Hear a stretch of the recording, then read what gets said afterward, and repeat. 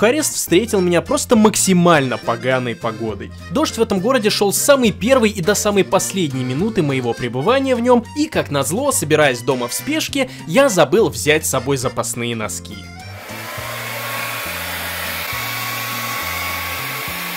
И проделывать это мне приходилось буквально каждое утро. Впрочем, была и приятная утренняя традиция, это блинчики в близлежащем кафе Мейсон. Вот за что я люблю бедные страны и путешествия в них, так это за то, что рядом с центром, рядом с пятизвездочным отелем, ты можешь поесть вот такие замечательные блинчики всего за, ну, вообще они 700 рублей, оказывается, стоят, я это только сейчас увидел. К слову, Румыния хоть и состоит в Европейском Союзе, но не использует евро, у них до сих пор сохранился румынский лей, и стоит он почти 17 17 российских рублей. И уже обладая этой информацией, давайте попробуем посетить местный сетевой супермаркет. Чтобы примерно понять уровень цен, я зашел в местный аналог нашей ленты. И вот вам некоторые цены. Литр 3,5% молока 83 рубля. Куриная грудка 384 рубля, но учитывайте, что цена за килограмм. За килограмм указана и цена помидоров, и составляет она около 100 российских рублей. За килограмм картофеля придется отдать 260 рублей, если за красный, либо 160, если вот за второй который. Десяток яичек категории L, или по-русски SO, обойдется вам в 145 рублей. Ну и наконец, за 2 литра вредной газировки вам придется заплатить 80 российских рублей. Но если честно, я зашел сюда не ради еды, а ради того, чтобы купить себе профессиональный видеооператорский зонд Hello Kitty. И обошелся он мне в 1000 рублей.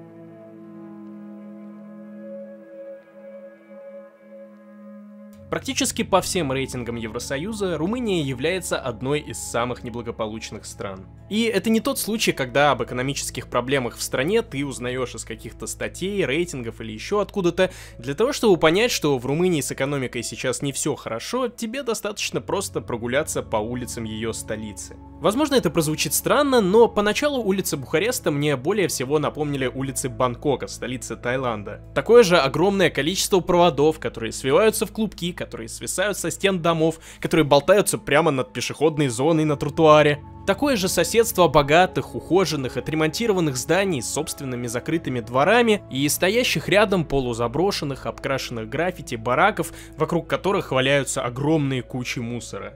Очень часто ты встречаешь историческую застройку, дома старого фонда, это здания, которые были построены либо в прошлом, либо даже в позапрошлом веке. Это дома, которые пережили власть Чаушеску, человека, который занимался перестройкой Бухареста, который разрушил для постройки всего одного единственного административного здания пятую часть всей исторической застройки Бухареста, включая жилые дома, включая здания церквей старинных. И все то историческое наследие, которое все-таки смогло уцелеть, сейчас оно просто разваливается, стоит никому не нужно нужным, ибо из-за нынешних социальных и экономических проблем в Румынии состояние каких-то старых зданий — это далеко не приоритетный вопрос. И поначалу я думал, что в этом нет ничего такого, мол, все очевидно. Ну, дома разваливаются просто потому, что их не реставрируют, а не реставрируют их, либо потому, что просто нет на это денег, потому что Румыния это не самая богатая страна Евросоюза, ну, мягко говоря, либо потому, что деньги есть, но их просто распиливают. Опять же, Румыния это не самая благополучная страна Евросоюза и в плане коррупции. Но оказалось, что проблема немножечко глубже. Дело в том, что в Румынии, как, например, и в Чехии, есть закон, который позволяет частным инвесторам, это могут быть как какие-то компании, так и физические лица, приобретать эти самые исторические здания, и в этом же законе прописано, что эти инвестора, они не имеют права эти исторические здания сносить. Но если в Чехии эта программа более-менее успешно проводится, и там отреставрировано уже огромное количество домов, после чего эти инвестора просто распродают квартиры в этих домах по повышенной стоимости, стоимости, то в Румынии почему-то этого не происходит. А дело в том, что в Румынии этот закон не обязывает инвестора затем реставрировать эти дома. В итоге чуваки покупают эти дома, затем дожидаются, пока дом просто схлопнется, развалится, иногда даже помогают, чтобы это произошло как-то побыстрее. И затем вот этот участок земли, который уже готов в принципе к застройке, нужно просто снести остатки старого дома, и затем после констатации разрушения исторического здания, там можно строить какой-нибудь торговый центр, какое-нибудь низкокачественное малоэтажное жилье, ну или просто перепродать этот участок дальше каким-нибудь девелоперам. И я не случайно сказал, что на месте разрушенных исторических зданий строится именно низкокачественное дешевое жилье. И это неудивительно, ведь крайне низкий уровень доходов населения создает запрос именно на такое жилье, которое в первую очередь будет максимально дешевым. Что строили пять лет назад, они вообще ни, ни по какой правиле не, не шли. Mm. Они дали в эксплуатацию дом, но у них даже канализации не было. Они стояли с э, бочка большая, знаешь, да. И даже у них и света не было, и они стояли на генераторе весь дом. Помимо нового низкокачественного жилья, в Румынии также огромное количество примеров социалистической застройки. Такие здания имеются и в развитых странах Евросоюза, таких как Германия, например. Но там эти дома стараются реновировать, то есть менять все коммуникации, инфраструктуру, придавать этим домам опрятный внешний вид и отдельное внимание уделяют тому, что находится вокруг этих домов. И совершенно очевидно, что для всех этих действий нужны деньги. Деньги, которых в Румынии, как вы уже, наверное, поняли, попросту нет. И в результате вся эта социалистическая застройка, над внешним видом которой изначально никто особо не запаривался, сейчас выглядит еще более депрессивно, и, честно говоря, я даже не представляю, как, живя в таких зданиях, можно чувствовать себя счастливым человеком. На следующий день вместе с Николаем, это тот самый человек, который рассказывал про качество новостроек в Бухаресте, мы решили отправиться в место, которое практически полностью застроено аналогами наших советских хрущевок, которые ныне пребывают в крайне плачевном состоянии, а внутри этих хрущевок проживают цыгане.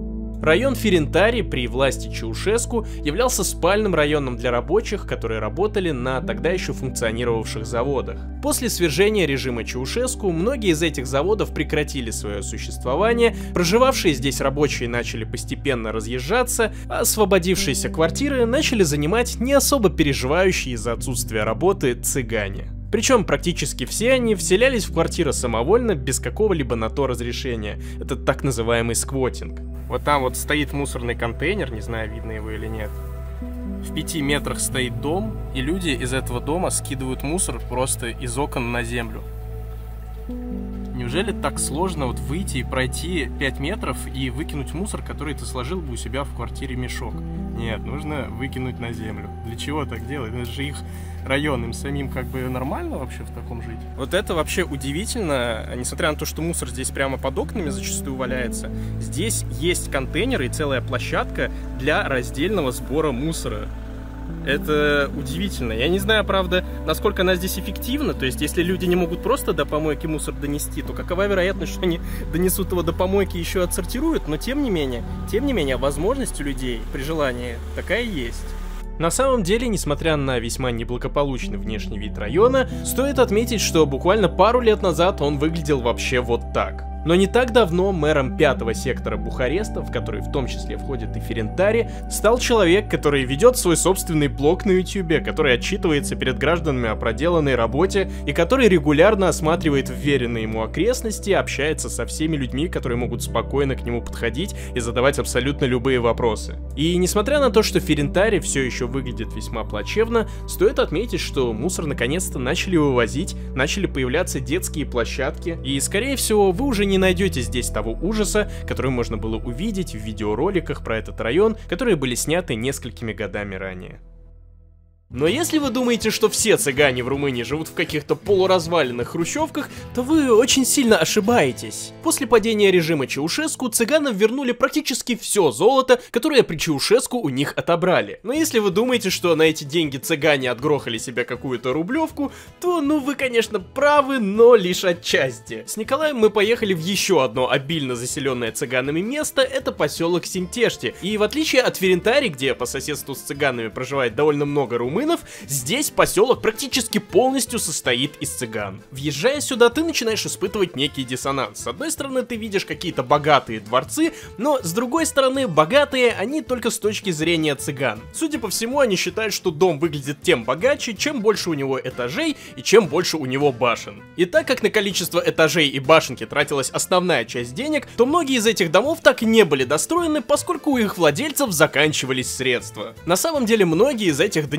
вычурных дворцов внутри совершенно пустые, там ничего нет, ни мебели, ни даже отделки. При этом сами хозяева таких поместий могут обитать где-нибудь на окраине Бухареста в какой-нибудь полуразрушенной замызганной хрущевке. Ну и конечно же, все эти дворцы окружены мусором, грязью и пустырями. А местные жители при виде камеры, даже если вы едете в автомобиле, начинают выбегать за вами на дорогу и кричать что-то нечленораздельное. В общем, если вы когда-нибудь задавались вопросом о том, что будет, если цыганам дать кучу денег, то вы можете приехать в Румынию, заехать в Синтешти и посмотреть на все это воочию.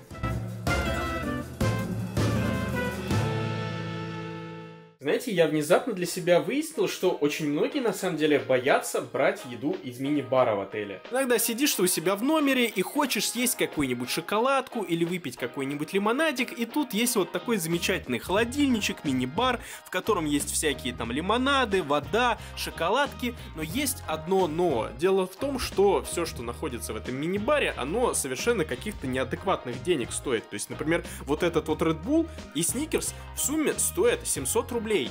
Но я не буду платить этих денег, потому что пока я сегодня днем гулял по городу, я купил в магазине обычном точно такие же Сникерс и Red Bull, но уже не за 700, а всего за 120 рублей. И теперь я просто беру их и ставлю туда, где они и стояли. Таким образом, можно жрать абсолютно любую еду из мини-баров и платить за нее адекватные деньги. А, и чуть не забыл, обязательно вешайте снаружи вот эту вот картонку, не беспокоить. Иначе, как только вы выйдете из номера, вам сразу же заскочит уборщик для того, чтобы засунуть в холодильник недостающие всякие шоколадки, чтобы заставить вас потом за это все платить. А если вам нужны советы не только о том, как сэкономить, но и о том, как заработать, то подписывайтесь на телеграм-канал «У соседа лучше». Автор канала в максимально доступной и понятной форме предлагает огромное количество самых разных вариантов заработка в интернете. В частности, это бонус-хантинг, это когда вы с друзьями оформляете себе карты каких-то банков по реферальным ссылкам друг друга, и каждый из вас получает от банков вознаграждение. Но также предлагаются и более долгосрочные варианты, такие как дропшиппинг, или создание канала на YouTube или ТикТоке с подробным описанием вариантов того, что можно было бы на них снимать. А при возникновении каких-либо трудностей вы всегда можете связаться с автором канала практически напрямую и получить от него ответы на все ваши вопросы вопросы. И также стоит отметить, что новые посты появляются буквально каждый день, так что переходите по ссылке в описании, подписывайтесь на телеграм-канал у соседа лучше и зарабатывайте больше.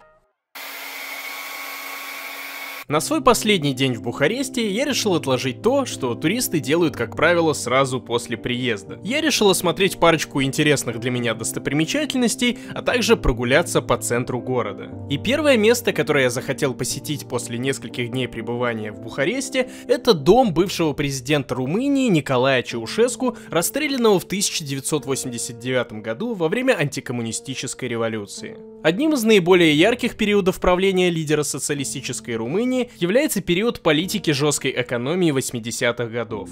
Причиной проведения такой политики стало желание Чаушеску как можно скорее расплатиться с внешними кредитами Румынии. И когда я узнал о том, какие именно меры вводились в целях экономии, мне стало очень интересно посмотреть на то, в каких условиях переносил все невзгоды и лишения сам Николай Чаушеску в этот сложный период.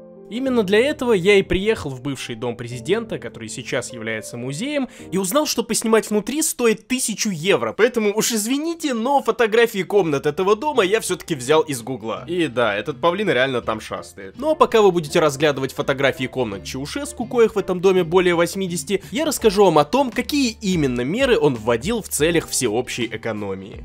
Итак, в 83 году, спустя два года после начала режима экономии, была введена карточная система, системы на продажу продуктов. К примеру, по этим карточкам на одного человека в месяц полагалось 5 куриных яиц, килограмм сахара, килограмм муки и 250 грамм маргарина. В дальнейшем эти нормы корректировались в сторону снижения, и одно из таких снижений Чаушеску мотивировал тем, что румыны слишком много едят, и он просто заботится об их здоровье. Лимитировалось также и потребление электроэнергии. На одну комнату полагалось не более одной 15-ваттной лампочки. И я практически уверен, что Чаушеску в своих роскошных люстрах включал исключительно по одной единственной лампочке. А вдобавок было запрещено включать холодильники и пылесосы, ведь они тоже потребляют энергию. Что касается бензина, то его продавали по талонам и на одного человека полагалось 30 литров бензина в месяц. Экономили в том числе и на отоплении, поэтому допустимую норму температуры в комнате снизили до плюс 14 градусов. Не обошли стороной ограничения и горячую воду, которую в домах давали всего на один день в неделю.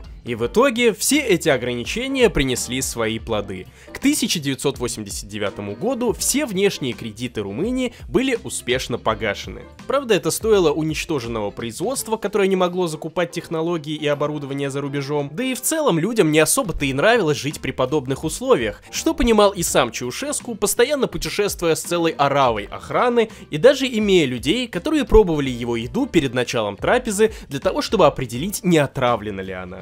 Впрочем, эти люди ему не особо-то и помогли, ведь в 1989 году в результате антикоммунистического восстания Чаушеску вместе с его женой были расстреляны.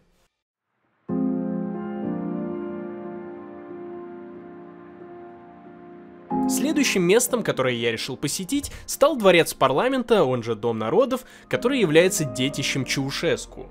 Я сегодня уже упоминал это здание, это именно ради него Чаушеску захотелось снести пятую часть исторической застройки Бухареста. Этот дворец — это самое большое и самое тяжелое административное здание в мире. Оно состоит из наземной и подземной частей, причем подземная даже превышает по высоте наземную, и по состоянию на сегодняшний день это здание до сих пор недостроено.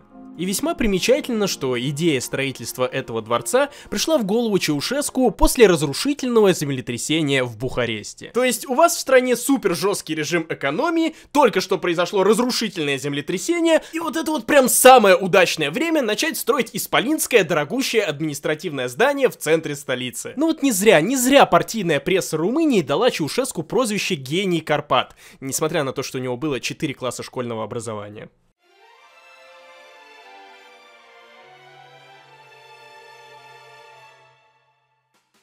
После знакомства с социалистическим прошлым Бухареста, а также с его цыганскими кварталами, я решил посмотреть на что-то такое прекрасное. И самым очевидным способом сделать это было поехать в центр города. И здесь я сразу же наткнулся на первые признаки европейской цивилизации. Велосипедные дорожки, которые пронизывают практически весь центр Бухареста, и более того, они еще и двухполосные. Впрочем, есть в центре Бухареста и другие, намного менее приятные признаки европейской цивилизации. По количеству граффити на квадратный метр здания Бухарест даст фору таким городам, как Берлин, Париж и, возможно, даже Брюссель. Но если очень сильно постараться, то под маскировочным слоем из граффити можно найти неплохо сохранившиеся и даже отреставрированные исторические здания. В конце концов, не зря же Бухарест носит звание Балканского Парижа. Ведь в Бухаресте действительно был архитектурный период, когда этот город ориентировался на французскую столицу. И именно этим объясняется огромное количество зданий в таких стилях, как, например, барокко. Но особенно красивым Бухарест становится с заходом солнца. И не только потому, что включается освещение, как уличное, так и на зданиях, но еще и потому, что во тьме не так видны все эти граффити, осыпающаяся штукатурка и мох, который растет на некоторых зданиях. Вот такое вот здание стоит в самом центре Бухареста практически, оно все в строительных лесах, его реставрировали, но так и не доделали. И висят вот такие вот интересные баннеры, на которых написано, это, видимо, сами рабочие вывесили, что им не платили 6 месяцев месяцев. И вот они вывесили фотки того, как они здесь работали, как они все это реставрировали. Причем заказчиком этого ремонта числится мэрия. Также написано, что они э, не будут ничего доделывать до тех пор, пока им не заплатят. И хотя сама такая ситуация с невыплатами, конечно же, неприемлема, но все же стоит отметить, что в Румынии простые рабочие спокойно могут так публично выказывать свое недовольство незаконными действиями властей. А в купе с тем фактом, что за последние пару лет средняя зарплата в Румынии выросла с 400 до 700 евро, то за будущее этой страны лично я испытываю осторожный оптимизм. Слушай, а он работает? Нет.